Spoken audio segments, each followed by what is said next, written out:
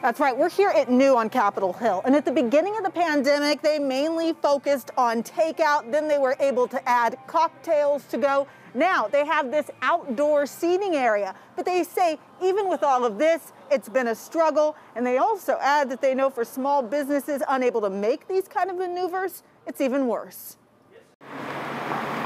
For restaurants, it's been a roller coaster of changes. I get why some businesses just have to close because it's exhausting when you're just running so hard and you're feeling like you're just going backward. U Win offers global cuisine, specializing in street food from around the world here at Nue. In order to stay open, they've had to pivot plenty of times since March. We're losing decent amount of money. We're using our own saving to kind of prop it up. These are not corporations. These are the pho restaurant you know down the street.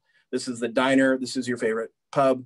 The president and CEO of Washington Hospitality Association says they conducted their own survey, reaching out to restaurants statewide, and found more than 2,000 had closed. Most were small, independent businesses.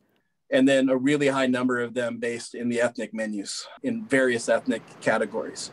And so those have been the hardest hit businesses so far. It becomes really, really difficult for the mom and pop immigrant uh, businesses to pivot in this time. She says the small businesses now boarded up used to bring diversity and uniqueness to the city. And when it's entirely collapsing, then uh, what is the future going to look like after this is all said and done? Now, what's kept you going? Oh, a lot of it is my staff. She also says it's her restaurant's concept, which is about the community.